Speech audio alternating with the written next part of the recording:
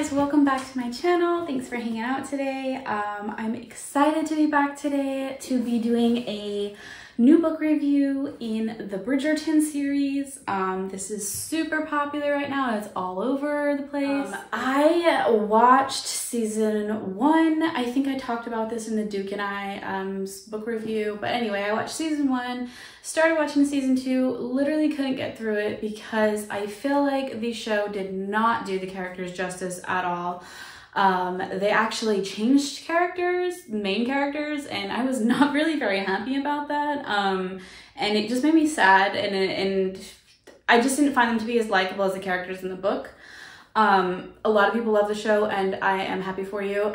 and if you have just only watched the show and not read the books, I'm sure you would probably love the show.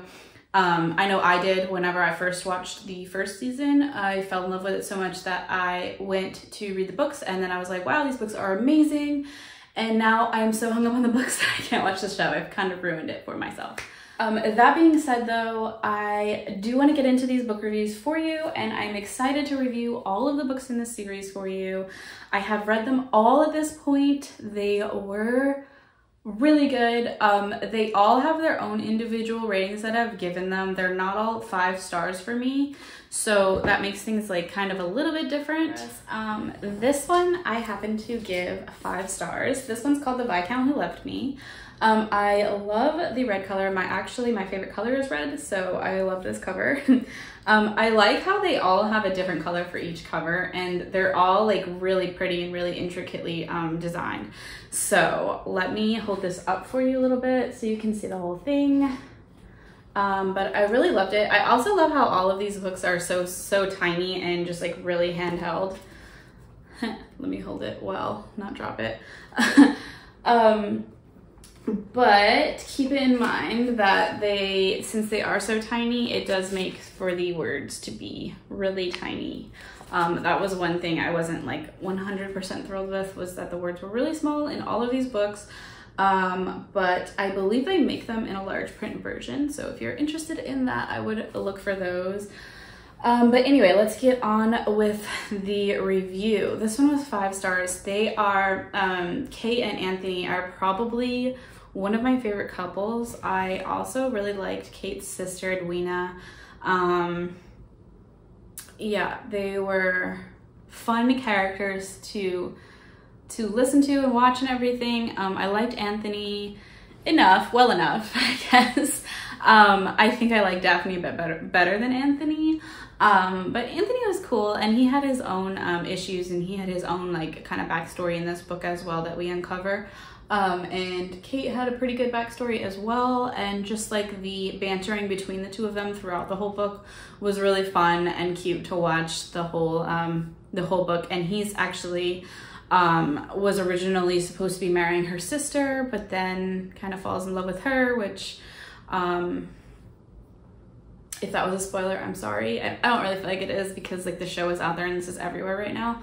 Um, but yeah, that, I guess that's all I should say um, about Anthony is is what I just said, and kind of keep the rest as like a, a surprise for you.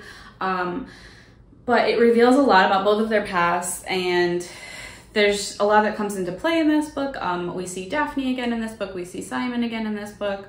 We see all the other siblings. Um, we see their mom Violet, who I love very much. Um, and there's just a lot of interesting and fun characters in this book, and it ties in with book one and then it also ties in with all the other books in the whole series. Um, I really love how this author, Julia Quinn, um, she just pulls everyone's stories together so nicely and so smoothly and she takes all these characters and she stays on top of them and she gives them each like unique and cool backstories and she gives them all like cool ways that they all tie in together and um, I mean, she involves everyone in all the different books and they just tie so well. And it's so cute to see like your favorite, I mean, if you do have a favorite, your favorite one pop up in other books and you're like, oh, there they are again, you know what I mean? um, so I really like that too. And um, I like her writing style a lot too. I like that it's like set way back in the 1800s. Um, I've actually kind of learned a lot about living in the 1800s just by reading these books. Um, there uh, is a bit too much romance in these for me. I think I explained that on the first video. However, um, if you are gonna read a romance series, I would definitely read this one. Um, I'm also not really a person that really likes to read the like 1800 type of, type of books. Usually when I see that on like the back of a book, I'll immediately put it down and I just won't even like give it a chance. Um, but since this was put on Netflix, I actually really liked it um, on there, and it and it made me interested in in wanting to read the books. So um, that was something that kind of was cool that came out of Netflix for me. I love Anthony and Kate together; they're so cute. Um, I love Kate's relationship with her sister and her mother, um, and her dog. She has a cute dog too. He's a corgi. Um, that was sweet. I like that they that they put a dog in the book because you wouldn't normally like think one of these these esteemed ladies with all these beautiful dresses would have this corgi dog that comes along with her everywhere, but he does, and it's adorable. um, I also really love the dog, so yeah, got me there. um, but yeah, I think that's pretty much all I have to say about this book without giving too much away um, about it. So I'm gonna set that down and definitely look out for my next reviews in this series. Um, they are going to be posted every single Monday. I know I have a weekly video on Friday, but I'm also going to have a weekly video on Monday for the Bridgerton series until I get done reviewing this whole series. So you can look forward to that as well. I'm actually kind of excited about that because um, this was a long series to read. There were a lot of books in this series, um, and I I did it. I did not read all these in 2022, which I kind of regret. um, some of these I read in 2021, and I think I read about two or three of them in 2022. So um, they won't be part of my 2022 reading challenge, but that's okay. I'm going to review them anyway for you because it's a whole series. And um, I see a lot of people saying like they really want to read the books, but they haven't, and they're just going to watch the Netflix show. So instead, I kind of wanted to break break it down a little bit for you and give you a little bit about each book and like what my favorite things kind of were and um, just talk about it a little bit. So I hope you liked this review and there will be a lot more of these videos coming out soon, um, like I said, every week.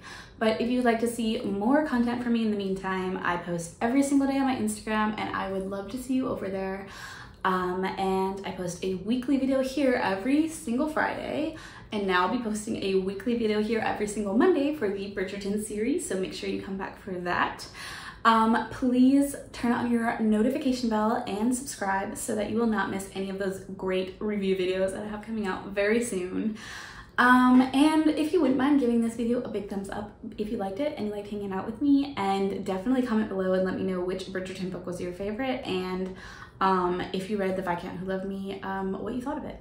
Okay, so I will talk to you next time and I'll see you then. Bye.